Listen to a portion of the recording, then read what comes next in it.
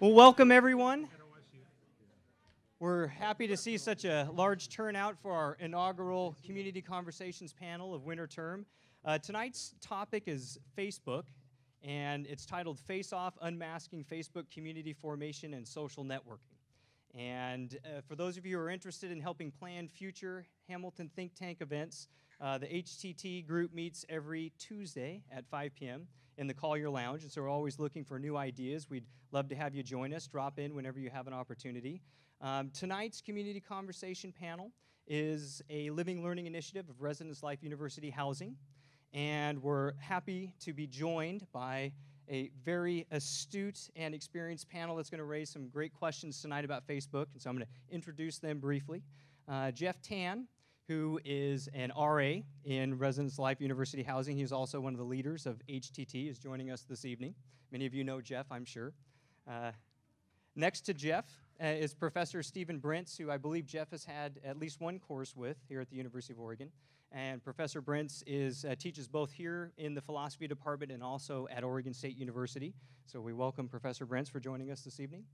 And Andrew Bonamici, who is an associate librarian for instructional services for university libraries. And he also has done some extensive research on Facebook. Andrew and his colleague, Annie Zeidman Karpinski, who is a science librarian, have assembled a wonderful bibliography for us this evening. We have some hard copies of that available over by the um, refreshments if anybody's interested in taking that with them. Uh, the bibliography also has a URL address to the Community Conversations web space where you can find this electronically. We also have a few interesting links that Andrews provided us. One in particular that we wanted to highlight uh, is a research study from the University of Georgia, or is it Georgia from Georgia Tech? And it's titled Crossing Boundaries, Identity Management, and Student Faculty Relationships on Facebook and raises some questions about how does the landscape of Facebook change when faculty and administrators also begin to have Facebook pages or profiles as well. Um, I also wanted to, to mention that unfortunately, uh, the other event that we'd been advertising in tandem with tonight's panel, uh, Henry Jenkins' public lecture, Art and Storytelling in the Age of Media Convergence, that was hosted by the Oregon Humanities Center, that unfortunately has been canceled. And so, for those of you who are uh, planning on attending his talk tomorrow night in Lillis Hall, um, unfortunately, he was too ill to have cross country travel, and they're going to try to reschedule that for the spring. So, we apologize that uh, that's not going to be taking place. Um, some of you have probably noticed you have some personal response system clickers on your seats. Is there anybody who doesn't have a clicker? Uh, raise your hand and we'll make sure that you are able to, to get one. Everybody has one. Make sure that you have a green light on, and if it's not on, push the red button. Uh, that's at the top, or I guess the bottom of the clicker. And we're going to be querying the audience tonight on a series of questions. And what we're going to be able to do is collect the data and display the results graphically in terms of percentages of how people are answering. And so I want to make sure everybody's able to participate in that. And we'll cue you when we're ready to, to ask those questions. So without further ado, I'm going to turn the panel over to our speakers. Okay, um, I'm going to start off. Can you hear me all right? Okay. Um, I'm Andrew Bonamici, as Kevin said, Associate University Librarian for Instructional Services. Um, I'm immersed in educational technology all day long. I've been very interested in uh, web services, including uh, Web 2.0 types of services and social networking systems like Facebook uh, for a long time. Um, I've actually had my own Facebook profile for at least three years, so which may be longer than, uh, than some of you. Uh, my son invited me to be uh, on Facebook right after the, the U of O got, got started. So um, without any further ado, let's start with a little bit of demographic research using our, our clickers. So let's go ahead and uh, take a look at the screen. How many of you have a MySpace page? And there are three receivers, so feel free to point at And we have uh, about 30 seconds to let them tabulate, is that right? Yeah, we have 30 seconds per Okay. question, and these essentially function like a television remote. So Mhm. we got to aim at the receiver.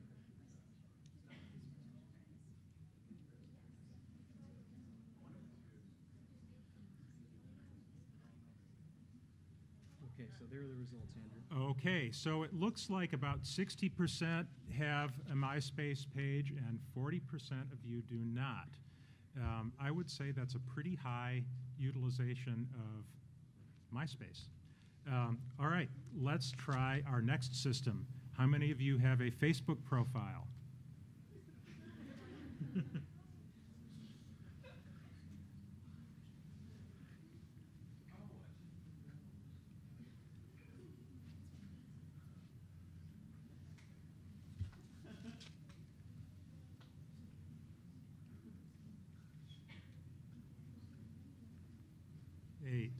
seven, six. okay. Oh, there we go. so you can see on, on the typical college campus, Facebook does have quite a bit of activity. Um, this is fairly comparable to uh, national surveys. Uh, usually, about 95% of students on a campus like ours have an active Facebook profile. Uh, at North Carolina State University, they found that about 85% of their students had a Facebook profile set up before the first day of class.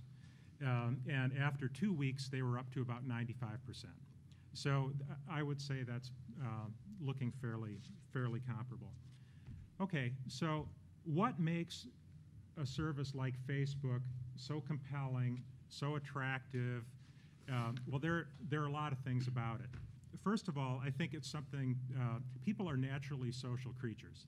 And if we have tools at our disposal that are easy to use to help us socialize and make connections with others uh, at whatever level, for better or for worse, uh, we are going to, um, to use those, those tools. Technically speaking, uh, Facebook has, has done a lot of things very well, too. They've made their interface really easy to use, even for non-technical users. You don't have to be much of a web author to you know, set up a Facebook profile and, and start using it actively. I mean, how many of you, just raise your hands, not a clicker question, but how many of you would consider yourselves to be really sophisticated web authors? I'm not talking about navigating websites, but building a website from scratch. How many of you feel like you're fairly competent using your Facebook page? So uh, obviously they've done something right. I mean, you know, if you can drive a car today, you don't have you're not you don't have to be an automotive engineer to drive a car. And I think the uh, the parallel with something like Facebook or you know there are many other systems like it. YouTube is another good example. Really easy to post a video to YouTube. How many of you have a YouTube account? Yeah, a few hands go up. Have you posted videos to them, or do you just sort of look at other people's videos? Yeah, a few. Um, that's that's the next thing.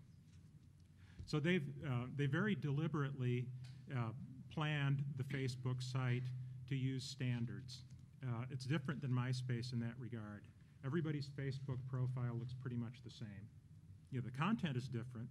You know, the photos are different, but the interface, the navigation, the, uh, the buttons and tabs along the bottom, for the most part, are all going to be very similar. So any Facebook user can usually find their way around another Facebook Friends page without a big learning curve. So they, uh, they use web standards. They're actually their own set uh, called Facebook standards. They have Facebook uh, uh, application programming um, interface standards or, or APIs. Uh, for all the people who are now developing special applications for Facebook, there's a particular way you do that. If you don't do it that way, you don't develop Facebook applications. That keeps the whole experience very consistent for, um, for the users. So from a web development, a technical perspective, they've done things um, very well.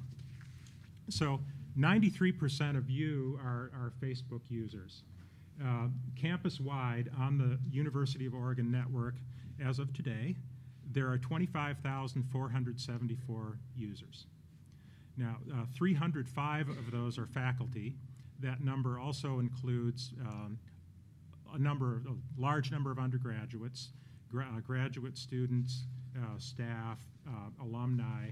I don't have the exact counts on those. It's a little more labor intensive because it says more than 500. You have to start scrolling through a lot of pages to get the count. But 25,474 users is many more people than we have uh, studying, teaching, or working on the University of Oregon campus. So even factoring in alumni, there are a lot of people. Now, I happen to know for a fact that not all of the faculty are real faculty. I mean, I have two friends on Facebook. Um, one of them is named Igor Stravinsky. Anybody know whether or not he's a bona fide faculty member here? Afraid not. Um, how about Anton Bruckner, another composer who's been dead for decades? So it's very easy for, uh, for people to set up a profile for somebody they admire, but isn't necessarily an active faculty member. They gave uh, those, uh, those two composers faculty status at the University of Oregon. They'd probably be. Worldwide, uh, just to give you a, a little bit of uh, perspective on the size of, of this service, uh, as of yesterday, there were 60 million active users. That's worldwide of Facebook. Uh, MySpace might be actually bigger. I'm, I'm not really sure. Uh, daily new user average 250,000. So 250,000 people are adding a new profile every single day. Uh, 65 billion page views per month, uh, 500 million searches per month. Uh, it's the largest photo site in the world. So uh, if any of you use Flickr, for example, to, uh, to upload and store and share photos, um, that's a smaller photo site than Facebook. There are 1.7 billion photos, which averages out to be 44 photos per user. Uh, it's a massive, massive photo repository. um, so we'll we'll talk about a lot of these other issues through the through the um, evening, but from an administrator's perspective, what are some of the issues and the questions that come up? Well, who owns Facebook? Uh, it's not a University of Oregon product or service. We have no control of it.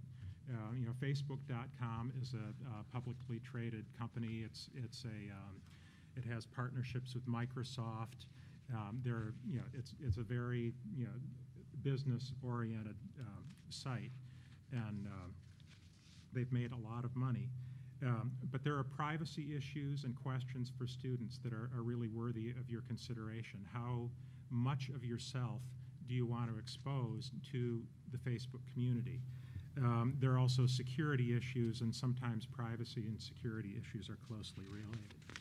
There are also student conduct issues, and you've probably heard some of the stories about uh, people rushing the field and tearing down the goalpost um, I can't remember where this was, Penn State or somewhere like that.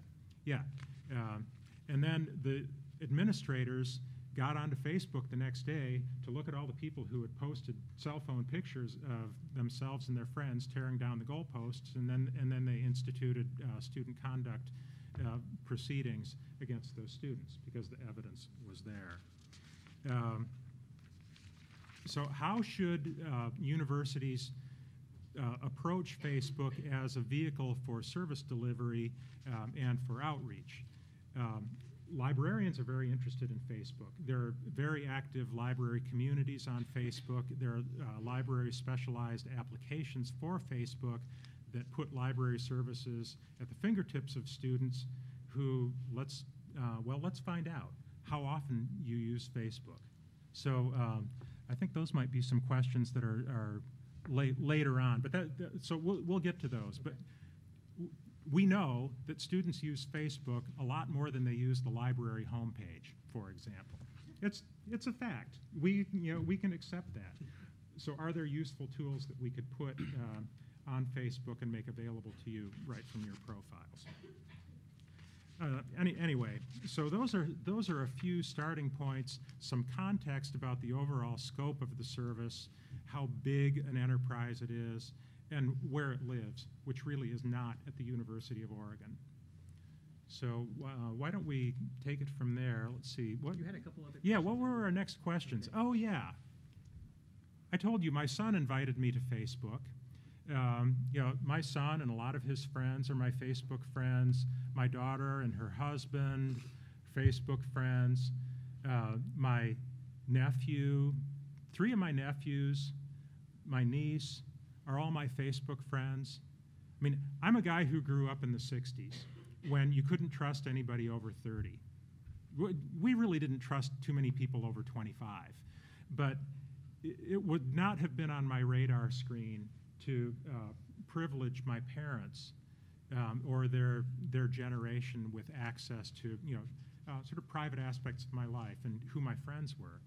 But for whatever reason, you know, my kids and a lot of their friends and my uh, nieces and nephews trust trust me with that. So it's really, I mean, I'm very honored. It's just kind of strange. So let, let's find out about, uh, about all of you. At least the 93% of you who have Facebook pages.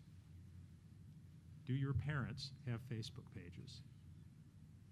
By parents could be, you know, guardians, other, you know, important authority figures or bill payers in your lives.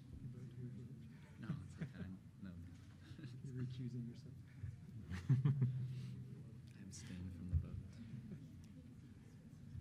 My mom does not have a Facebook page.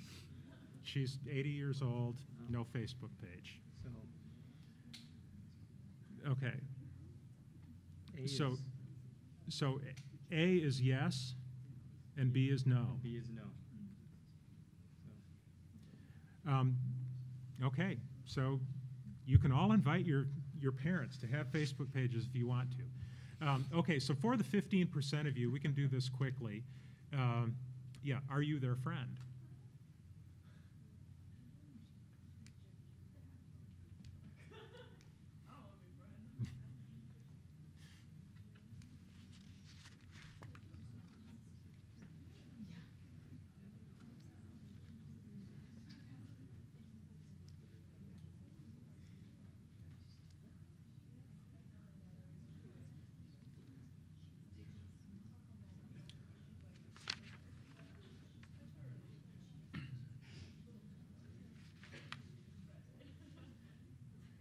Is yes and B Okay, is no. so, so uh, about 9% of you uh, have parents who are friends on your Facebook or MySpace uh, accounts. Uh, 14% of you um, don't. I mean, your parents have them, but you're not their friend. And then another 70, 70, 76% uh, not applicable. Those, that's very interesting. So I think the rest of the questions were yours, Okay, Jeff, so. yes. Yeah. Okay. All right, um, awesome. Um, like Kevin said, I'm Jeff Tan. I'm a student here, um, majoring in philosophy, and I'm also an RA. And so I'm going to have three questions to ask. We'll just go through these, and then we'll talk about the um, the results and whatnot further on um, in the stuff I'm going to talk about. So first off, on an average day, um, how much time do you spend on Facebook?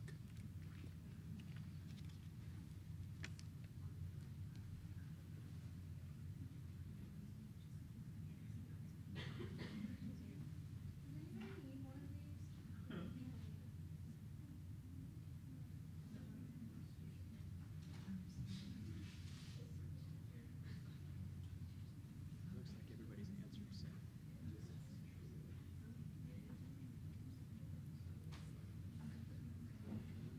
All right, let me get these. Uh, See if I can. Mm-hmm. Do you want to see that yet? I'm good. Okay, so go ahead and you can. All right. Okay, cool. So Mhm. it looks like more than half of you spend under 30 minutes a day on Facebook. Okay, cool. That makes me happy. Okay, we'll go to the next question here.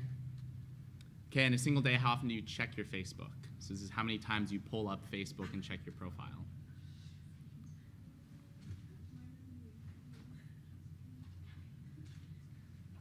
Okay.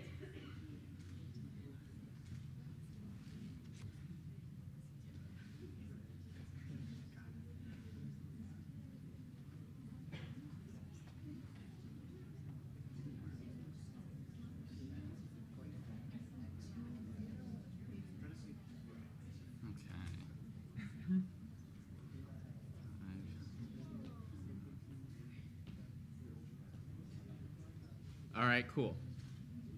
Alrighty, so it looks like the majority of you check it four times or more a day. All right, we can go to the next question here. All right, so how many of you have friends on Facebook that you otherwise never speak to? So this is like you added them as a friend on Facebook, but you never talk to them in real life.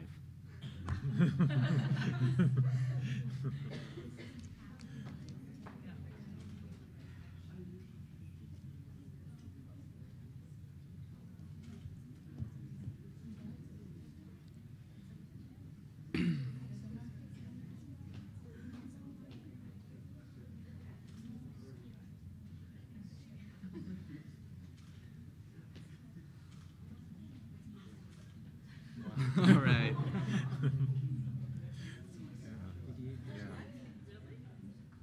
All right. It was yes.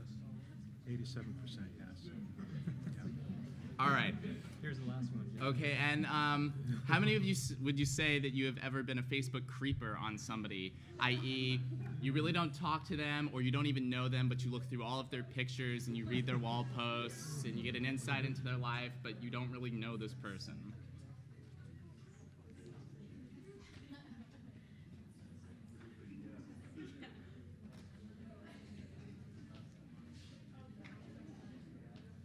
Uh, don't forget your parents. You know those fourteen percent of you who have parents with uh, Facebook profiles. You can creep your parents too. He's at a high rate of response. Yeah. Look at that. All right. Yeah, Seventy-five percent yes. people are curious about others. All right.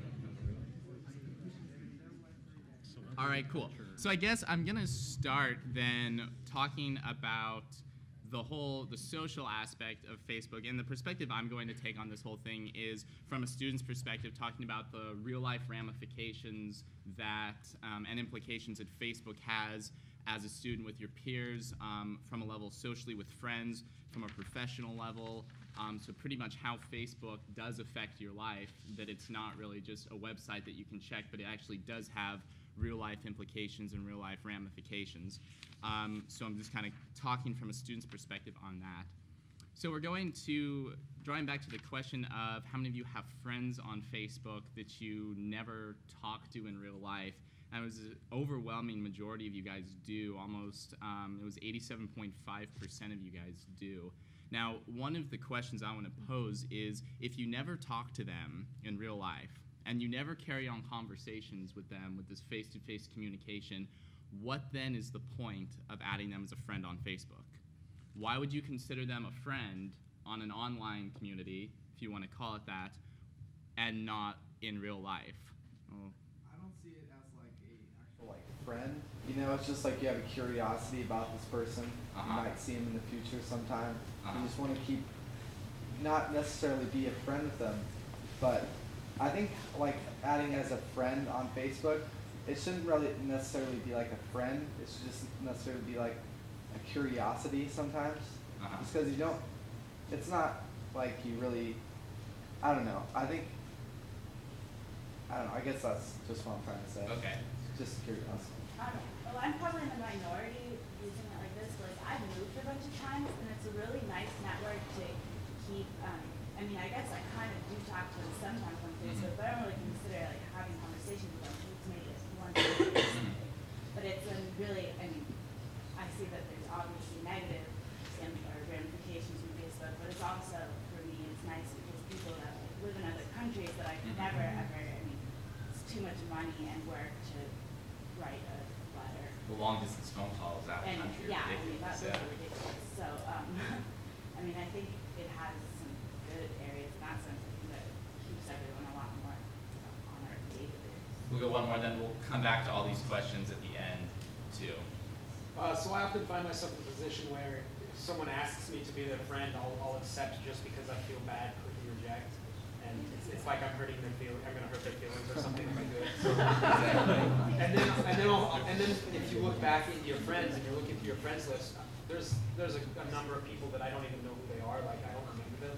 And I'm like, well, I should probably remove them from my friends list, but then I'm worried, well, what if they noticed and, and then they wouldn't like me anymore? So Exactly. Okay. So this brings up a great point now. So just with a show of hands, how many of you guys have either requested to be friends with someone that you've never talked to before, or have accepted friends that you have no idea who they are, but you just do it anyway? Okay, so good. So it looks like about half of you guys. Okay, so one thing that I do, I'm, I guess I'm really, I'm a big proponent of face-to-face communication, like actually talking to somebody, and I feel that Facebook sometimes is coercive to that.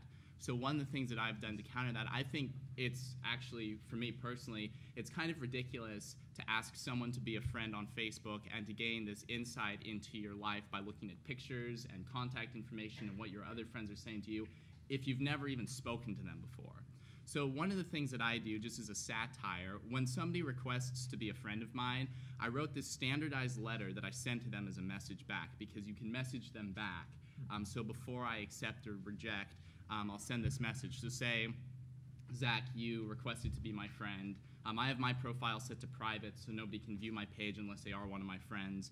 Um, so you request to be my friend, and I have no idea who you are. So what I would do is I would message you this message. I would say, Zach, due to the fact that we have never, never met before, and quite frankly, I have absolutely no idea who you are, I regret to inform you that under Section 4, subsection 8 of my friend request accepting policy, I am unable to process your request to be my friend at this point in time. However, possible suggestions to remedy the situation include, but are not limited to, a face to face conversation, a phone call, or an introduction of some sort via email, but preferably personal interaction. I'm sorry for the inconvenience. Best regards and warm wishes, Jeff. So I standardized, like, I styled that after like a credit card decline letter. And so it's a complete satire, but even this has real life ramifications. I think I've sent this to five people before, and the response is mixed. Like, sometime this one girl said, um, I had no idea who she was, um, and she said, God, I didn't know there were rules for this sort of thing. so she kind of took it personally, I guess. Uh, another person who I didn't know who they were, but they knew me, and apparently we had met before in the past and they knew my sister too. They made some comment like they said, "Oh, ha ha, you really are your sister's brother. We met before at this point and then." And then I remembered them, and so I accepted that. Um, most recently, somebody I have a I had a good friend, and she had this guy that was like really really was into her. Right, he was being really persistent in wanting to pursue like a relationship with her. The only reason I knew who this guy was was because all over winter break she would tell me how annoyed she was that this guy was so persistent in wanting to date her and she wasn't interested. Never met this guy before, never seen a picture of him, have no idea, but I knew what his first and last name was. So about two weeks ago, I get a Facebook friend request saying that this guy had asked me to be my friend on Facebook. And so I sent him this message because there's really no reason why we should be friends if we if I actually have no idea who he is. We've never met before, and it raised the question, you know, obviously he tried to view my page. It rejected him because I have my stuff set to private. So then what are his motives for trying to look at my page? So I sent him this letter. He messaged me back. He says, Oh, I'm one of your friend's really good friends, and I know you're one of her really good friends. I thought I would bring it together. P.S. I liked the way that you messaged me. It was very witty. And so I still didn't, you know, decide what to do. Well, I get a phone call from my friend a couple days later, and she just starts complaining to me for 15 minutes. This is literally, I timed this 15 minutes about how he was offended by that and how he just couldn't understand how her good friends could treat her other good friends this way and that why I couldn't just accept him and you know accept his friend request. And so I'm getting an earful from my friend for 15 minutes out of my day about why I didn't accept him as a friend. And she just she couldn't wrap her head around why couldn't you just do that? You just have to be, you know, you need to be sensitive. You're you're unaware that, you know, what you're saying to people they could take offensive or whatever. So this lead this led to me to several different conclusions and, and things that I pulled out of this. First of all, I told her, I was like, do you realize, I said, just stop a sec. Do you realize how ridiculous this is? You've been complaining to me for 15 minutes about Facebook. You know, secondly, you individuals can choose how they want to use Facebook as a social network utility or how they want to use that. There's no rule that says you have to accept everybody that requests to be your friend. Especially like I have my cell phone number posted on that and everything, and I've got more personal information posted on my Facebook just because I know that the people viewing it are my friends that I'm very selective about adding. So there was an example where I had to diffuse a situation. My friend was really upset, and I had to take time out of my day to diffuse this situation in real life about a Facebook thing that didn't even concern her, that concerned this other guy that I'd never met before. So I think that Facebook then, it, it, it kind of, it's really destructive to this, this face-to-face communication. And that's why I send that message, and that's why I'm really particular about who I add as a friend. Um, I think it's really important to have conversations with people. And I think that you pull more stuff out of, of other people and you get to know people better if you're actually talking with them and you're taking the initiative to interact with them. Um, you know, why then was that guy wanting to look at my profile? Did he think that I was competition because I'm one of her good friends and he could see what I posted on her wall, but he couldn't see what she was posting on mine? Did he want to look at my pictures to gain insight into my life? Why then is this complete stranger to me, who we've never met before, so interested at looking at my profile? Which leads me to the creeper question, which was again 75.6% of you guys said that you have at some point crept someone on Facebook. I was telling one of my other friends um, this story about the, the message, and she, as I'm telling her this, we went to, my friend and this other friend went to, we all went to high school together. And so my friend was able to identify, she knew the guy that I was talking about. She goes, Oh, is that the really tall guy? And I was like, Yeah. And she's like, Oh, is that the one that she that your friend went to Hawaii with? And I was like, How do you know this stuff?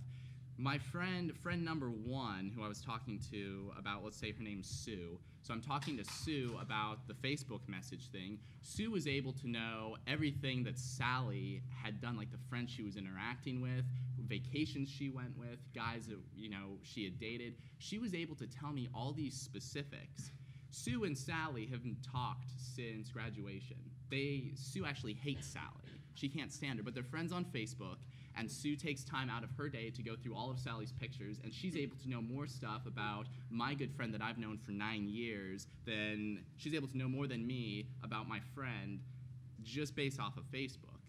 So it's like, why then is she, if she doesn't like this person, why does she feel the need to look through her pictures? Why does she feel the need to get this insight into this other person's life if she dislikes a person so much they can't have a conversation with them? So I think that this whole face to face, people hide behind the Facebook and they want to know people and they want all the benefits of being able to know somebody for whatever reasons without actually taking the initiative to talk to people. And I think that that's really damaging to communication. And on the larger picture, any of these online mediums like AOL Instant Messenger and MySpace and Facebook and online dating services, I think these are really coercive to the face to face communication because when you're talking with someone, there are these socially acceptable norms that govern your interactions. Like in our culture, it's really inappropriate if I meet someone for the first time and I kiss them on the cheeks right? People would be really weirded out. Or I know in a lot of Latin American cultures, when you talk to somebody, you get this close to their face, and there's real close proximity. Where in you know today, like if I were to meet somebody, you have a good distance between you. And these are these socially acceptable norms that govern your interactions. There's certain things that you can do and certain things that you can't do. Online, those norms are stripped and you're pretty much just governed by the rules of AOL Instant Messenger or Facebook or MySpace and it's not in real time and you can edit what you want to say and you can say something and there's no real instant consequence with that. And i could be saying something to someone on facebook. I mean i could have messaged that one guy back and been really nasty to him and there probably would have been no repercussion for that because i'd never seen him before in my life. I mean it'd just be this real pseudo conflict going on. So i think that people hide behind these facebook things and they just don't want to take the initiative to get to know people. And I think that's really damaging. So next time you're creeping somebody on Facebook or you want to look at somebody's profile and it rejects it because it's private and you request to be their friend, just I challenge you guys just take a step back and ask yourself, why am I doing this? Is this worth my time? What possible utility does this serve in my life to know what they did on their vacation? You know, if you're so interested, call your friend, ask your friend. I'm sure they'd love to tell you about their trip, right? Okay, so there's some more social ramifications. I mean, you had mentioned you're afraid you'd hurt their feelings. I apparently offended this guy with this. I had to, you know, diffuse a fight with my friend. It was ridiculous. Also, professionally now, Facebook originally started out where it was only open to college students. You had to have a valid.edu account to create an uh, or email to create an account, and that's what it was for. I think last year was the first year that they opened it up to everybody. Community members can have Facebooks. Um, high schoolers can have Facebooks. Pretty much anybody with a valid email can have Facebooks. So what's been going on in Facebook and MySpace too is you have bosses or principals or deans or whoever who are in a supervisor position or authority position using Facebook and MySpace as kind of leverage against people in ways, but if they see it, then there are real life consequences. I mean, people have gotten fired from jobs based off of what they've seen on Facebook. People have gotten rejected from schools or had scholarships pulled because they had excessive partying going on and there were pictures posted there. So there's something to be conscious of is this blurring the line between what you're posting on Facebook and there's, it's like your private life and a professional life. And it's kind of a blurred line now that you know you're posting it on there. Yes, you're posting it on there and everybody can see it, and you're posting it for the world to see. But are you doing that? You know, are did you make a Facebook account as a form of self-expression? And if so, I mean, if you're making your profile and you put time into like putting your about me thing and putting quotes that you find interesting, everything like that, if that's a form of self-expression, if you're afraid that somebody would see this and there's going to be serious real life repercussions in losing a job, losing a scholarship, getting kicked out of school, anything like that, are you then censoring yourself on some kind of level to what you want to say? And then isn't that defeating the whole purpose of the self-expression?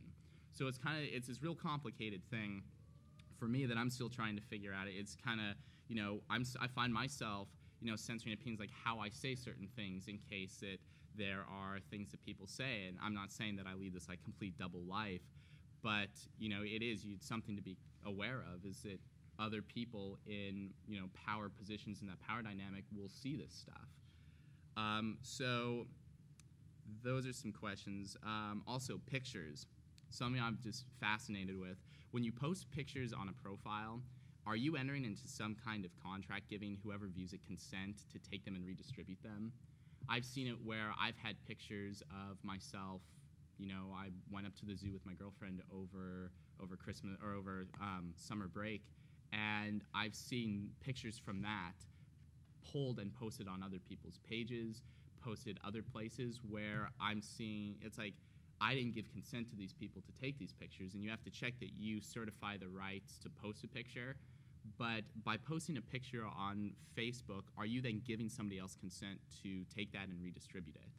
So that's something too, just that I was just kind of concerned with, and it's just kind of all this stuff. You have to be really careful what you're posting on these profiles because there are real life implications, and is that necessarily a good thing that you're then censoring yourself? I don't know. Those are just some questions and some thoughts I have on Facebook. Um, Jeff, if I could just.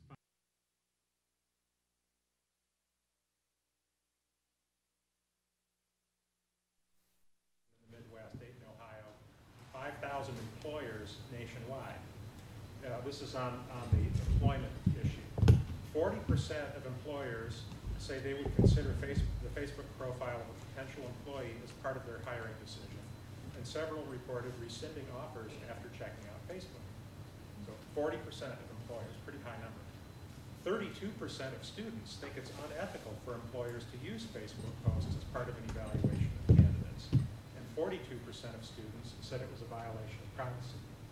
So there, there's a real serious disconnect between what uh, employers might pragmatically grab onto as a source of information or data mining about a prospective employee and what people think um, that form of self-expression should really be, be mm-hmm. used for. Uh, so you raised some really good points. Uh, there, there are definite disconnects between how some groups will use this, this information and how you, know, you as the end users might be conceiving of it um, as it Well, that's what I had for Facebook. It's my turn. You know, I have a laptop. I just didn't know I was supposed to bring it.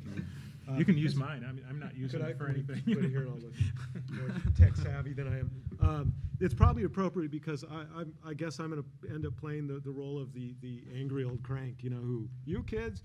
I, I was telling my, uh, uh, partner on the way over here that if, that if I could con- convincingly do this in, in Grandpa Simpson's voice, I would, you know, occasionally blur out Matlock or whatever. Um, because I, I have zero experience with Facebook outside the last two days and then only a couple hours, and I guess I'm a, a creep for doing this because I don't have an account. I don't really want an account. So I was just looking at stuff, like whatever I could see. And I use the word partner just, just to start things or some of my worries a little bit uh, rather than girlfriend or boyfriend. Uh, because, for example, my sexual orientation is the sort of thing I don't want to tell people I don't know. It's, none of your business. It's none of anybody's business that I don't want to tell. Who doesn't ask, who doesn't care. You know, I, or, or how much money I make. This is the sort of thing I could, for people I don't know, have never met, hopefully never will meet. You know, like, I, I really, uh, I ended up looking, searching for Washington State University because Pullman's a dump. I don't know anybody there. I don't know. Sorry if you're from there. Um, I didn't want to encounter some of my students on there and know anything about them. It's none of my business. I really don't want to know.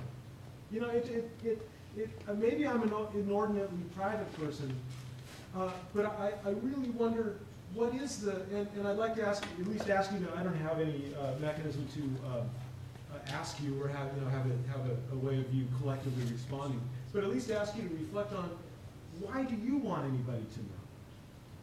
Why do you want to announce in a, in a public way where some creep like me or somebody else, right? Uh, I literally, I'm not a creep, but I, you know, by your terminology, could look it up and go, oh, you know, uh, gay, straight, whatever. What's what's the value to you in, in announcing that? If, if they're your, and this causes me then to worry a little bit about, um, and, and, because I'm a philo uh, philosopher, I, I, teach in the philosophy department. Um, I might suggest we philosophers worry about stuff like friendship and community. These are actually ideas that have, that have thousands of years of history of serious speculation about what exactly makes a friend a friend. In fact, uh, in my intro to ethics class next week, I think it's next Tuesday, we're scheduled to spend an hour and a half on Aristotle's conception of friendship. And I could suggest at least that um, the, the Facebook conception of friend doesn't come close. You have this enormous burden for Aristotle's sake in being someone's friend to take responsibility for them, what kind of person they are, what sort of influence you have over them. Uh, and in a sense, for, for Aristotle, whether they're a good person uh, becomes your, your concern, your responsibility. And in order that you exercise a, a, a healthy exercise, uh, influence over your friends, becomes for him the chief reason why you should be a good person.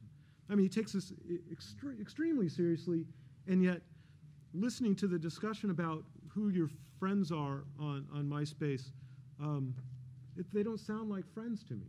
They don't sound like people, even the people that I would have my, in my friendship queue or whatever that, that's called. I'm not sure I would want most of them to know how much money I make in a year. I'm not sure most of my friends do, in fact, know that, to be honest. They're polite enough not to ask, and I'm polite enough not to tell them, right? Why would they want to know that? Um, they probably know the sort of bands I like. You know, and, and, and quite honestly, that's, that's, that was the larger impression I got from it, that it was like a modern technology heavy version of wearing your favorite band's concert t-shirt or decorating your high school locker or putting a poster on your wall only it was on a web page of sorts right? Is this fair? Um, and the comments seem mostly like the inane chatter you hear over one end of a cell phone conversation around campus. Hey dude what's up? Nothing. Where you at? You know and kind of just only in print, and um, all of that strikes me as largely harmless. You know, uh, when I was in college and I went to the University of Oregon, we didn't have any. We didn't. I didn't even have a computer most of the time. We didn't have email. Um, nothing like this. We wasted most of our time too. You know, doing other stuff, probably similarly idiotic to you. Um, but there was a difference, though. There are a couple key differences. One, and thankfully, I won't tell you why, of course, because this is the point. There's no record of any of this stuff what I did, didn't do, whether what I was wearing or not wearing, you know, what was smoked or not, none of that stuff. There's no record of it. It doesn't exist. No one's going to pull it out. No corporation is keeping track of it. There's no, there are no, it's not st- statistically accounted for anywhere. No one's marketing to me based on how much beer I drank or when I started drinking and who left my room at what, you know, there's none of that stuff. I don't know about all of you. Do you? You might, you might also ask yourself there's a lot of money being made off this. Who's making it and how? What, where are they making a buck? You might think Well, I'm not giving them any. They're not making it off me. Are you sure? Where would they be getting it then? They're making it, I presume, by profiling you, tracking what your preferences are, and if you're certain they don't do this, I wouldn't be so certain. I know for a fact that, like, say, Google Mail, they, they don't read it, but they electronically scan email for references to corporate ownership to, to various things, and they, they compile all this and target people specifically for marketing. So they know if you're interested in rap music, or whether you're interested in, you know, uh, um, uh, you know, certain kinds of film or, or movies or music or what you do, and then they can target you for more precise. Maybe you you're advertising friendly and think it's just providing you with information you'd like to have, or maybe you're like me and you think they're much more elaborately and, and with greater sophistication seeking to manipulate me to uh, better, more effectively milk some more, a few more dollars out of me. Um, at any rate, I would almost guarantee you that a lot of this stuff is being kept. This is, this is where the money's going. It, and this is an increasing problem of anything on the web. It's being charted, compiled, graphed, associated with a number, if not your name, some of it probably with your name. I mean, I, I could literally see someone's picture, their name, know their birth date, their sexual orientation, how much money they made, how tall they were, who they're dating, who they've dated, uh, what squabbles they might be having with somebody. Right? I don't know what I, on, I was honestly left with more with more curiosity as to why does anyone want to do this? Is it just because everyone does it? I mean, 95%, right, have one. Of, does it, I was wondering if there was anybody here that had neither. Facebook or MySpace literally does not have an on loan profile, right? Is it just because if you don't, you're you're a complete loser like me? You know, if I were in your shoes, or I do it for networking more so, because you keep in contact with people that you wouldn't necessarily keep in contact with. Yeah. Uh, especially, and so like later on, if they're starting something or you're looking for a job, common interest, it's that whole networking business. Keep it as wide as you can, and continue that acquaintance, not necessarily friendship, but acquaintance, in case you can help each other out or you have common interests and would collaborate on something. See, my, that was the other worry that there's is that that that creeps me out a little bit. I confess, um, because that's that's in a sense this is what Aristotle would describe as a kind of non-friendship, wherein your interest in the friend, so-called, is in some value to yourself, using them for something, a connection for a job or some ins, you know inroad into something you would like, and they're not then a friend in the sense that you don't love them, you don't care about what kind of person they are, how they're doing in the richer sense of how they're prospering in life. You're just, they're a contact. And it, it makes human relationships, what should be genuine human relationships based on love and concern, into business relationships, network possibilities, right? And then calling them all friends then doesn't make this distinction, and you lump them all. I mean, just just to, for for a simple weird fact, I I don't think I've ever asked somebody if I could be their friend. I've never made a friendship request. That strikes me as a very embarrassing thing to do. I've had people ask me to be my friend before, and I kind of, you don't ask that. Uh, um, I don't know, you know. That sort of just happens, doesn't it? At least worthwhile. You don't like, gee, can I be your friend? Sure. What's that mean? You get, you get to put your picture here and know how much money I make every year or something. Like, what? You know, or who I'm dating or whatnot. Does this make any sense at all? Or am I, am I coming off as Grandpa Simpson? Like, dude, you, you know. Because I really wonder do, do you not care about privacy or see that the, the, a space in your life wherein you can be completely socially unacceptable, um, stupid, engage in, uh, express opinions you might take back the next day? Um, if you do not see that in the way I think I did and, and, and our culture generally did uh, previously, uh, as a kind of realm of liberty or freedom and, a- and a necessary one, wherein you can escape social pressures and, and responsibility and, and a need to network with anybody, where you just have friends that are, that are mostly useless to you, except that you, you know, using the word friends is kind of uh, kind of kind of hard. I think I'd call them Facebook friends because I call a lot of my Facebook friends Facebook friends because they're not really my friends. Um, So I think it's uh, really important in this discussion to kind of separate the two. What are they then? Why do you, why do, why do you want them to have access to, Well, that's what I'm, I'm getting there. okay. So uh, the, uh, the other thing is um, I kind of use my Facebook like a, like an address book. So uh, I'm sure some people have address books full of old contacts. Um, and Facebook is kind of like that for me, except I can look at pictures, I can see um, uh, other things that are a little bit more, um, like if I forget who they are, let's say, then I can, I can try and like get, get my memory back, back around by looking at their pictures. But the other thing is uh, if you meet somebody, um, especially when I was before, before I had a girlfriend, if I was um, interested in somebody, I could Facebook them, or interested in, in I just met some, some person, I could, I could Facebook them. And it saved a whole mess of trouble, like a lot of steps in the, in the getting to know you process. I could just, just, like, it was either I have no interest, like, we don't share any, there's no common ground, like I'll just, I'll just forget about it, and then we don't have to worry about it anymore. Or there was some, some like, oh, same, similar bands, um, we've been to the same foreign country, things like that, and make it so the, the, the that process was a lot easier. So it just, it comes down to it being, it's a lot easier now to, to get to know people, and, uh, Can I ask you, are you sure that's a good thing? is it, is it, is, are you sure it's a bad thing? No, but I, I, I- I worry about it. For example, that, um, you know, I, I went on dates in college uh, with people that I was not compatible with, and yet I think in odd ways I gained from that, or people that I wouldn't have thought I was compatible with, that I, I, I you know, we proved to get along and learn, you know, a- little bit like the, these satellite guidance systems people now have in their cars so they don't get lost ever. Is getting lost always such a terrible thing? Uh, you find stuff when you're lost that you wouldn't find otherwise. You get out of ruts and you you discover new things, and maybe you discover new people if you end up out with somebody that if you knew that they liked, you know, uh, um, I, I shoot, uh, what's his name, uh, Michael Bolton, right, or something terrible like that. I presume I'm not insulting anyone there, but right. That you would think I couldn't possibly get along with somebody that actually liked Michael Bolton's music or something.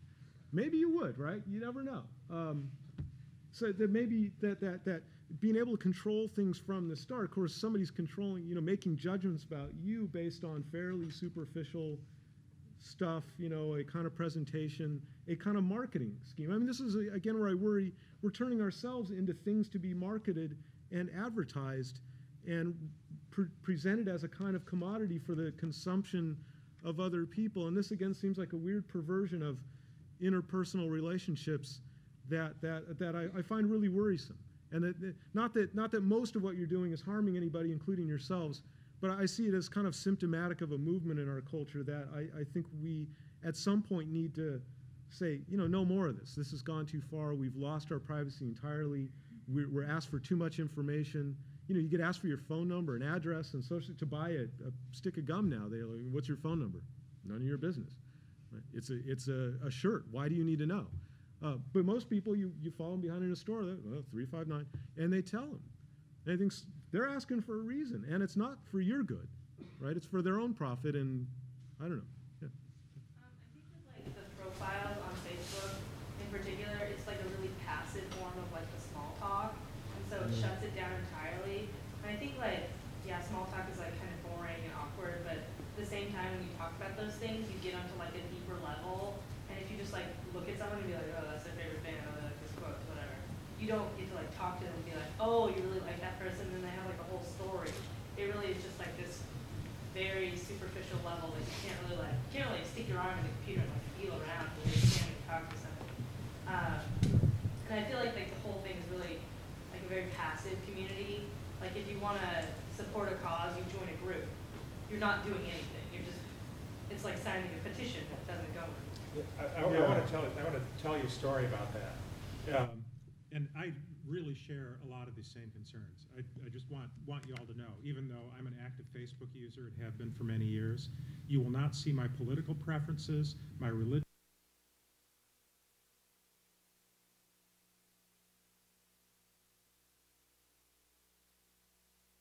Yeah, eases the pressure a little bit. But uh, get, uh, getting back to the uh, sort of community engagement, there's a, uh wonderful story that I that I saw uh, from Middlebury College. They had uh, their administrators wanted to um, have a new logo for the college. And you weren't here a few years ago when we sort of shifted from the great seal of the university, uh, mens agitatum molem, the Latin motto, the whole thing, to the O. It was extremely controversial, especially for the, uh, the faculty. Anyway, um, at Middlebury College, they were doing a similar kind of thing. They were changing the logo that had been there, you know, for 200 years. In a matter of hours, they had a Facebook group with 750 or 800 students saying, we don't want that new logo. And the university administration changed their mind. They, when they realized that at this college of 2,000 students, that within hours, 800 of them had made a statement, even on Facebook, as shallow as it is, that they didn't want this logo, they said, eh, um, maybe we really don't want to pursue this. We'll just use it for our capital campaign and then we'll call it good. So, you know, uh, one of the things that happens, you know, and it, it isn't just because it's Facebook, it's because it's on a network. And, and we don't, we think about the applications and we think about the, the website that we're fiddling around with. We don't necessarily think about the broader implications of that being on a network. There are inherent benefits and there are inherent risks. You know, some of the, the data mining opportunities that it creates, the cost of it uh, necessitates a business model um, that you know requires advertising revenue to support it. Um, that means they're going to come up with uh, marketing strategies. But the fact that it's on a network can let things happen really fast across large populations, so it can it can actually be a, a tool for mobilization. Yeah. Well, there's another thing too. I mean, we've been talking over here a lot about you know you're marketing yourself and people are using your information, you know, to gain profit. There's a thing called Project Beacon. Have any of you guys heard about that? And there's a show of hands. Mm-hmm. Who's heard about Project Beacon on Facebook?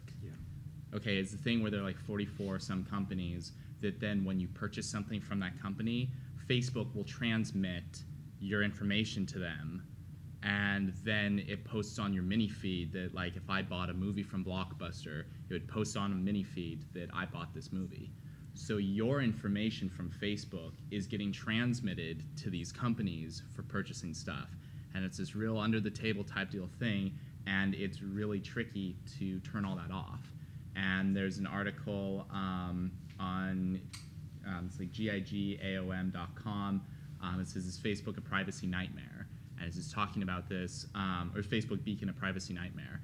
And I mean, do you guys feel comfortable posting, you know, your information on there, having this sent to these companies without your consent? I mean, I know I have a huge problem with that. I mean, Facebook, I mean, Coca-Cola shouldn't know if I buy a Coke what, you know, my favorite movies are or who my friends on Facebook are, or what my age is. It's none of their, their business. You know, they're getting my dollar fifty for the Coke that I purchased. They should be happy with that. They should need to know my life. They should need to know my personal information. Wait, how does that work? Because if you buy Coke, you're at like a vending machine. It says um, it, it's websites. It says 44 sites have partnered with Facebook, include um, everyone from LiveJournal, New York Times, Sony Online, Blockbuster, um, BlueFly.com, Is that only if you purchase things through the internet though? Yeah, it says these partner sites put a little piece of Facebook JavaScript on their website, um, and certain information cleverly and innocuously labeled as a user alert is sent to Facebook. So it says Fandango users can publish information about the movies they saw. Um, it all seems as a clever idea, blah blah blah. But it lets Facebook triangulate what you like and you dislike. So it's it's these websites put this JavaScript application in there where um, you can then publish that stuff, but it's gathering information from you. Just using your name as a tracking? Um, I'm not exactly sure what exactly it does, but it sends information and then it like posts on your mini feed what you're purchasing online. So it's like it's this tracking system of what your online purchases are. This Well, is bizarre. And as, as you might imagine, it's catnip, it's irresistible to marketers because they figure um, people in your, fa- uh, well, even though we all know differently that, you know, there are a lot of Facebook so-called friends that you don't even know, you know, the assumption is that the people uh, who are your friends in Facebook have some common interest. So if, you know, if they can, it's a very, very specific uh, niche marketing opportunity for, for these companies. And as I understand it, I think they've backed off on this program because they Yeah. had a huge Yeah. amount of, of criticism um, about it. So they may have backed off a little bit.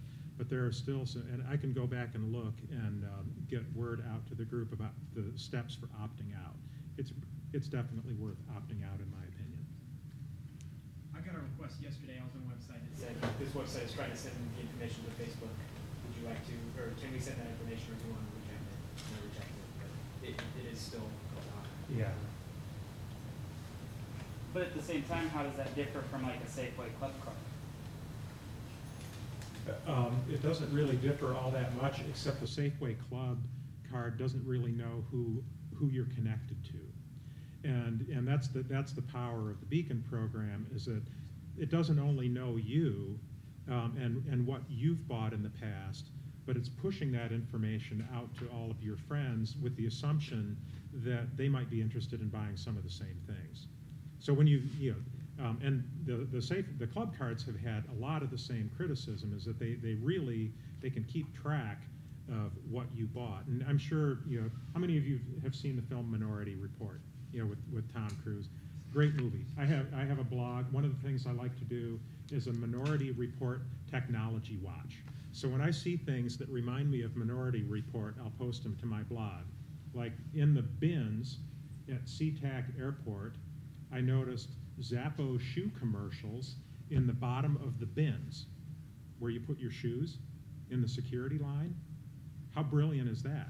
Everybody's putting their shoes right on the little shoe footprints.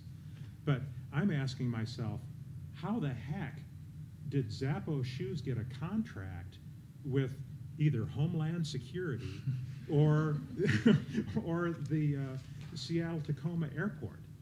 What is with that? How, how can they sell, you know, homeland security procedures to advertisers? It really freaked me out. Well, I, I, I looked into it, and indeed, um, you know, it's an airport plan. The airports have to provide those security systems, and they this is one way they help pay for it. But um, it's it's similar. You know, there are there are more and more uh, targeted uh, marketing opportunities. Once it gets on the network, it, it opens up a lot of potential uh, to take that data and do other things with it, manipulate it, push it to, to people who might have a similar profile and so on. Could we go back to the, I think it was your comment, this, this question of, of, of, things being done on there. I mean, it, it's one thing for to register an opinion and have some university logo or some other frivolous issue like that. Although I think that, again, it's symptomatic of a, of a troubling direction that the, the U has been eliminated from the university's logo everywhere, and now Oregon State is just OS. Mm-hmm. Like they're trying to obscure the fact this is actually a university and not a football team or whatever the O now is stands principally for. Um, but what else is being? What else? What other productive things are actually going on in there? Any?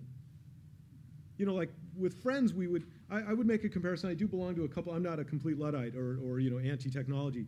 I belong to a couple belong meaning I have like I can access it and contribute to a couple. I play the bass guitar and there's there are a couple sites that I belong to where I can get tips on new gear or whatever or technique and whatnot. And I, if I compare that relationship to the people on there to the guys I play in a band with, um, not even in the same realm. I mean, we make music together. We chat anonymously mostly uh, about some gear and stuff.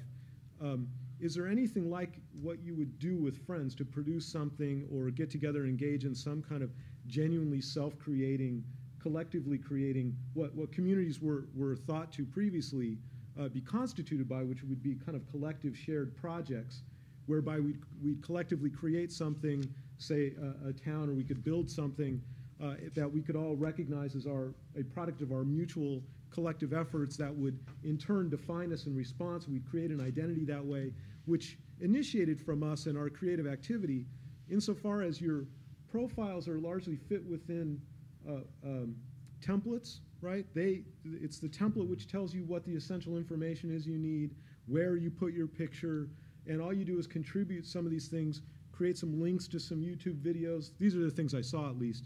Um, it's all somebody else has created it You've been told essentially how to arrange it. You get to make some choices.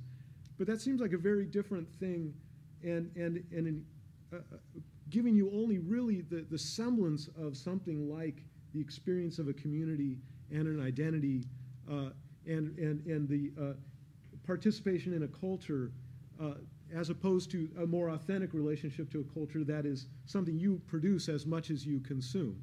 That music would be produced by people and then recognized by people in that community as meaningful to them. And some, whereas if it's made in LA and you buy it online and it's you post your favorites on your page and what did you actually contribute to that other than when say you go grocery shopping and you make a few choices between some major major brands and go I'm a Ajax person not a whatever the other one is Comet is is that really a, an individual if that's what our increasingly our expression gets reduced to is just picking between options supplied by somebody else and within a format that's already been predetermined is there anything actually genuinely creative productive producing something new and novel out of the participants in Facebook?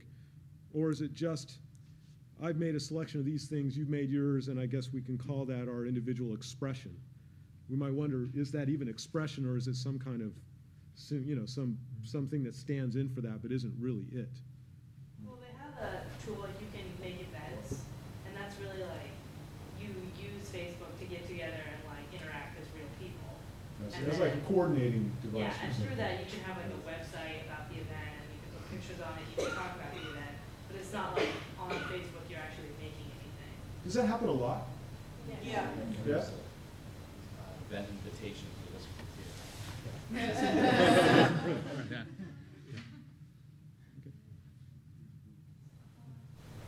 I don't know. You're supposed to call Oh, I people guess. I was gonna say when I was a when I was an undergrad, I actually was really encouraged by my professors um, to be on Facebook, and what they equated it to is it's like your business card for the 21st century. That much like a business card, which has to be two by three or whatever the diameter of a business card is, and it has to be that way, or otherwise people won't accept it. It's the same with a Facebook. A Facebook is pre-planned, but it's the business card to your life. And much like how companies will go on there to check up on people, they also use it as a tool to find people. Um, for example, I have a lot of friends who work for uh, uh, accounting firms, and they learned information about that accounting firm through Facebook. Um, I mean, they already knew the name of the accounting firm, but they wanted to know what are the people like, what's the atmosphere like, is this the company I want to work for? And they looked on the Facebook and looked at, you know, the company picnic from last summer, and they looked at stuff like that. And it was a way to, it was like a business card or an ad for that company, and the same works for the person, where it's a way, and that can be a social thing, where if I want to meet someone, I can look at their business card and see what kind of person are they, what's their email address, how can I get contact with them in order to get to know them on a personal basis, vice versa. So that was something a professor actually told the class was you better jump this chasm and get with the times and get on this um, because you're just going to be a lagger if you don't if you don't get on it. That's what department that was? It was a business class. See, mm-hmm. in philosophy, resist, mm-hmm. lie, don't do it. You know, um, we're of course we're trying to get you fired from jobs, not hired for them. Mm-hmm. So you know, take it for what it's Well, worth. I mean, going off that too. I mean, can you really believe though? And at, at what point, like, at what level do you take? I mean, do you take your Facebook at face value? I guess if you want to put it that way. I mean, anybody, since nothing's in real time, I mean, you can really choose what pictures you want to put in there. You can choose what descriptions you want. Going back to what you were saying, you know, when you meet a girl and it takes care a lot of the, you know, the real awkward getting to know them type deal thing. I mean, that's assuming that they're, I mean, they're putting what they really are on there. And so it's like you can look at people's pictures, you can gain some kind of insight, but I mean, I'm sure that there are issues or pictures and things that they don't want you to see. So it, at, at what level do you take that act? I mean, I can take a first date and I can take an interview too. It's kind of that take it as Mhm. only for face value. It's only the initial meeting. It's just like a first date or an interview would be. It's just the surface, and they are putting on an act, and they could be putting on an act. So Mhm. don't take it as more than that. I don't assume like if I have a friend, I do not take what's on their Facebook to be who they are just from my interaction. Which is why personally I don't have friends that aren't people I actually have or do interact with. But but yeah, I wouldn't take it more than an interview would be or a first date because I faked both many a time. Yeah, real quick follow-up, and then we want to hear your question. I have a friend who teaches at George Fox College, um, and, and he challenges his students, he work, uses Second Life, which is an immersive environment in his class, and, and he challenges his class to think about, are you the same person when you're in world, you know, in this um, other place? Is your, um, what do they call them, personas or avatars, yeah, does that person have the same values as you do in, in real life? And I think it's a, it's a very uh, thought-provoking thing. How consistent are you as an individual, wherever you're expressing yourself, at whatever depth. So, go ahead. Um, well, I think also uh, Facebook, like, it's really important to understand how much the times have changed since like back in the 60s and stuff. And I was talking to my parents about their college experience or 70s, 80s, I. But I was like, because I'm I'm from the city and I'm from out of state, and I didn't I don't know anyone here, and they were I'd come back on winter break and they're like, well, why don't you have a plethora or like a plethora of friends already? What's up? And I was like, well, how do you meet people? Have your classes, and you know, in a big lecture class, you don't you know you're like, oh, can I borrow a pencil? But you don't have conversations with people, and then there's people in your dorms, and I happen to be in a dorm that's not like me, and then um, it's just kind of like you know, back in the day, there was like one community telephone, and it was attached to a wall, and you, you had to meet people. How did you know that? but it just like I mean, there's kind of this this huge social pressure through Facebook. You know, you someone requests you as a friend on Facebook, and they're from like the first floor in your hall, and you've never talked to them before. But they request you on Facebook, and you're like, oh hey, you know, and it's like an initial um, kind of meeting that otherwise just doesn't happen, and like especially in the city. So I'm not I'm not quite done. Especially like in the city, I know it's like it's even harder because they don't. There's not even like small communities you know, there's just like community in general. I think is really disintegrating in especially in American culture. And I mean, Facebook is not helping that by any means, but it's also kind of just advice for people to make make a social network of some sort. Okay, if I could respond real quick. Um, going off of that too, it's like you know making friends in lecture. I mean, what would happen if tomorrow when you sit in lecture, the person sitting next to you just says, "Hey, how you doing? How's your day going?" And you start a conversation, and then you introduce yourself. Oh, well, hi, I'm whoever. Like I'd say, "Hi, I'm Jeff. How you doing today? What do you think of the reading?" Et cetera, et cetera. Like, what if you took that initiative to just talk to that person? I mean, I know that most of my friends here, like when I came down here, I'm from Salem, so I'm so, still from in-state. When I came down here, there are people from my high school that came down to U of O. I really didn't want anything to do with them. I was like, you know, I'll be go to somewhere else if I'm paying six thousand dollars a year to turn this into U of O High. You know, I don't have to pay to be with those people anymore. And so I really wanted to meet new people. And you know, you do that just by introducing yourselves to people and having conversations. I mean, I met my last girlfriend because we were in the same discussion session, and we were walking out the door at the same time. And I asked her about the paper that we wrote, and then from there, a 10-month-long relationship started. And it's just like, you know, it's that face-to-face communication. It's taking the initiative, and I think a lot of people are scared to like talk. And and as we get increases of technology, that willingness to interact with people on a personal level is getting smaller and smaller and smaller and smaller. So I mean, what if tomorrow you did? You just talked to somebody, and maybe they could be one of your really good friends down the road, just by introducing yourself. Definitely, I'm just pointing out that I mean that there's a phenomenon going on here. That I mean, I'm not saying I'm not defending. Facebook. Oh, I know, and I'm not accusing you. okay, I'm just saying that it's, a, it's something to look at, and it's also a, kind of along the same lines. Actually, never mind. I want to say. Well, um, it isn't just Facebook. It isn't just the internet. It's we go everywhere in automobiles. You know, um, we do. You know, we do a lot of things in isolation. You know, as as Steven was pointing out, um, a lot of our music isn't music that we make. You know, it used to be most homes had pianos. People sat around the piano. That was the only form of music they had. They they bought sheet music. They subscribed to sheet music services and they played it in in their homes you know, because that was the only way they were going to hear anything. You know, so times have definitely changed, and a lot of these uh, technologies do enable us to to isolate ourselves more. So we, we have to be aware of it. At the same time, they can enable us to connect. And and I was. Um, I was thinking about as we were talking about, um, you know, whether it's you know, you know people that you, you you love and you really care about. I have some really really close friends that I truly love and care about, um, who work on the East Coast.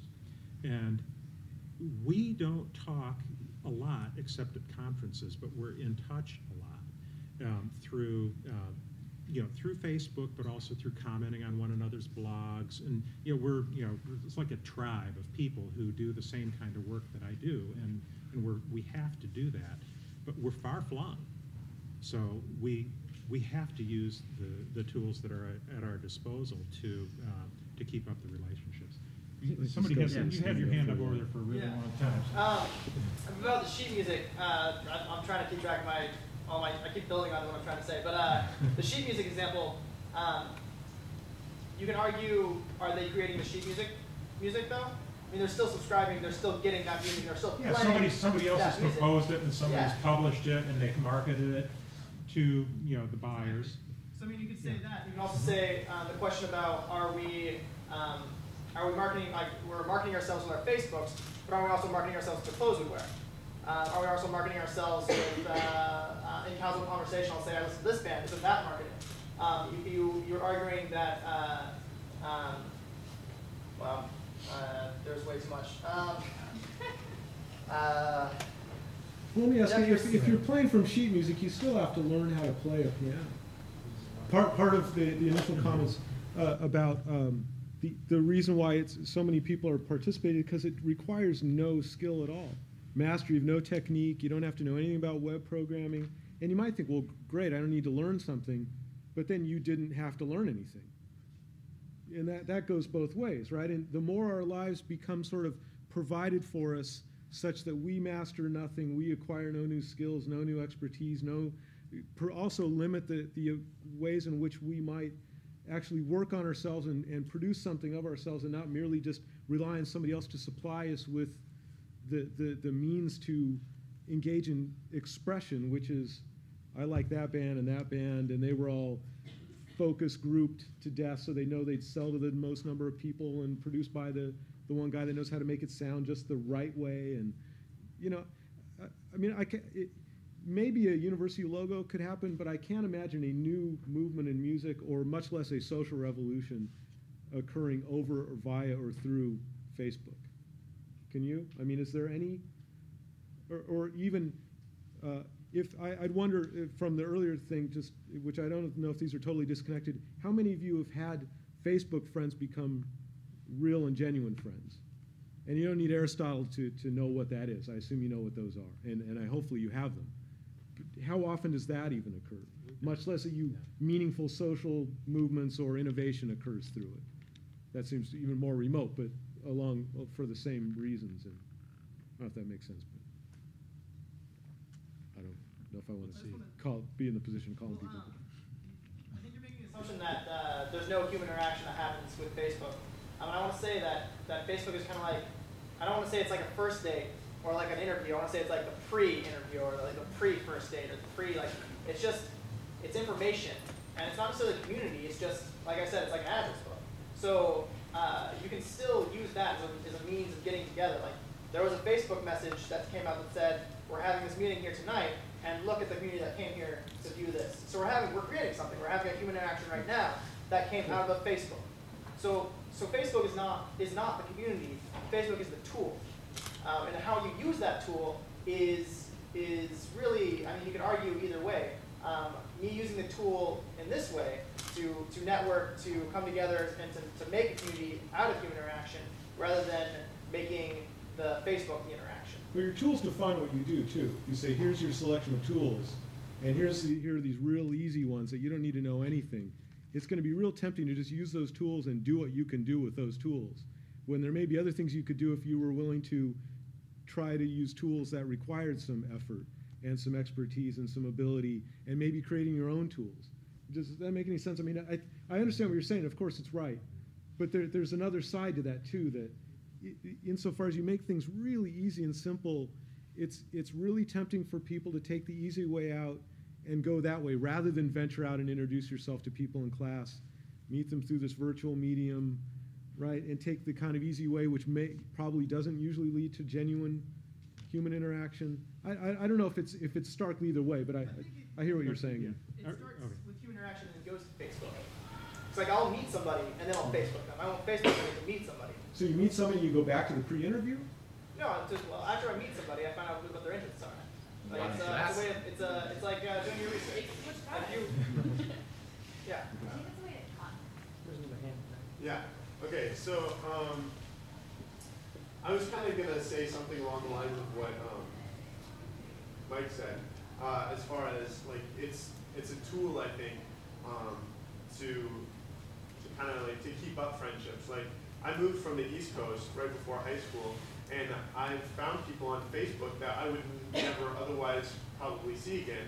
And I've gotten to check in with them and say, hey, how are you doing? How's your life? You know, and and otherwise I would never get to see them again. You know, I would never um, have any interaction. And then if I go back to the East Coast, that that Facebook connection leads to like I, I went over the summer and um, you know I messaged them and said, hey, I'm going to be in town.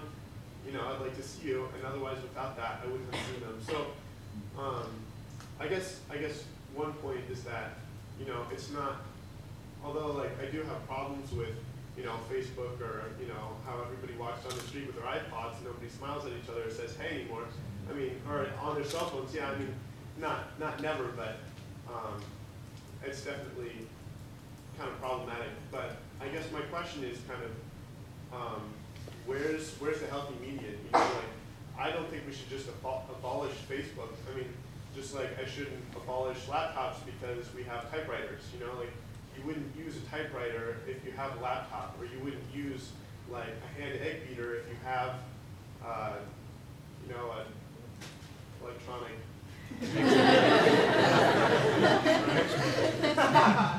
uh, so, anyways, like, what what's what's your what's your solution to that? Like, you can't just smash Facebook and then. Oh, I, I'm just, I'm just trying to get you to, because you're all doing it, just to try to get you to, this is what philosophers do, this is what I do in my philosophy classes. Try to, to, to complicate things, provoke you to think about them further, recognize there may be another side. You may be missing out on things, maybe it's easy and that's not always good. Um, maybe um, you're putting stuff on there that if you wouldn't tell somebody face to face, maybe you really don't want on there. Um, maybe you can examine why do I want to put some details of my private life up on, on the, the web? And maybe you, you won't like the answers and you'll change your mind. I don't know. But if, if just to try to provoke you to think about it, I, I don't have any answers per se. I, you know, I, I, I honestly, I, I came here mostly wondering, I don't know what this is all about. And here's some, here's ways that, that I worry about it, but maybe it's uninformed, but Well, I want to say a quick word about the tools. And I, I think it's an interesting analogy that the tools that you, I mean, the stuff that you make, uh, you build with the tools that you have at your disposal. But um, 60 million people want to want to do something with a tool that's called Facebook. So if every one of those people had to build, I mean, if, if what you want to do is communicate with people and build a social network and have these chat services and post photos and do it all from one place, um, that's a very complicated set of, of exercises. Um, and probably nobody would be able to do it, but it's obviously something that people want. You know, so um, yeah, so would you all like sit down and try to build something like this from scratch if it weren't there, or would you be doing something else? How much of a priority is it to engage in, in these kinds of activities online? It's a really uh, out there kind of hypothetical question, but I, I think it is, I mean, the, uh, the demographic, the, the penetration of Facebook into the population kind of speaks for itself. It is something that people really like. They have a very engaging um, product that, that has gotten a huge amount of traction in only three or four years. So anyway, we've got a few more hands. I think the question over there was. Well, I was just gonna say, something I think is really interesting about Facebook is, and other social networking sites is, um, the ability you have to sort of manipulate the image that you're portraying of yourself. Um, I have somebody who's close to me who has a physical disability, and she likes to use the social networking sites to meet people first, because she feels like prejudge her in real life. And so when she's interacting with people, they see her and they put her in this box and they are interacting with her based on that, rather than getting to know who she is. So when, and so, you know, my inclination is, oh my gosh, you can't just meet people online first, it's not safe, and there's weirdos, and they're gonna get you, and that kind of thing. But she's like, well, I feel like I'm making genuine friends this way, and I get a chance to, they get past those barriers with me, they get to know me first, and then when they meet me in real life, they're already kind of know who I am, and I've had a chance to interact with them without them seeing that part of me. That's a, a really important point, and uh, a lot of faculty who teach online will tell you that they will start to hear from students that never speak up in class. They'll, they'll get, start to get amazing uh, commentary on, on the readings and feedback from students that they would ne- they've never heard from before because there's a different context or a different venue or framework for them to express themselves that they, they don't have in the, um, in the live classroom for reasons, whatever reasons, intim- intimidation, shyness, might just take them a little longer to put their thoughts together. I just kind of have a general question. I don't know if you have the answer, but I was I don't spend much time on Facebook, but I was on there a few days ago, and I decided to like remove a picture of myself, and I was kind of wondering what happens if like what happens to that picture if say you're the only person that happens to be like tagged in the photo, and you remove yourself, like it's still I assume like floating somewhere in cyberspace. So let's say you didn't want anyone to find that picture and like you remove yourself from it, like where does that go? And isn't it incredibly possible that anyone can find that picture if they want to anyway? I don't know if they would ever be able to find it again from that particular Facebook site, but if they have downloaded it previously, um, it wouldn't really go away. Um, you know, once once things uh, get out there in in the network land, um, they will, you know, people grab them on their own computers. They get mirrored on other sites. It's very, very difficult to completely eradicate um, a fact or an image or a, a site um, that you don't want to have there once it's there. So it's a, it's a really important thing to keep in mind. Um, similarly, if you have, I don't, maybe you guys don't know the answer to this, but if you have your profile set on private and you're pretty, um, careful about who you have as friends and stuff, does that, is that, um, hiding information? I mean, if it's, all they can see is like what school you go to, your name and stuff, so can just, but companies doing search, like say job search, they can't they can't access like as far as I know, like for me, um, unless I personally accept as a friend. If somebody looked up Jeff Tan, they'd search through a lot of Jeff Tans, but when they eventually get to my picture, it'll just have my profile picture and I'll say message me, um, request as a friend, etc. But you can't actually access that. If you want to go even further, so say there's somebody that you really don't even want to know you exist on Facebook, you can find their profile and you can block that person. And then you're invisible 100% to them. They can't like if they look at somebody else's wall and you've posted on that wall they don't see your comments because you're blocked you block them and you're invisible to that profile. But that's a specific you have to find somebody you have to specifically add them to a block list But there are measures you can take to reduce the. Of who's watching exactly exactly Could they sign up under a fake name and they could and not be blocked? And what do you, does anybody know what Facebook does with like if you delete a picture?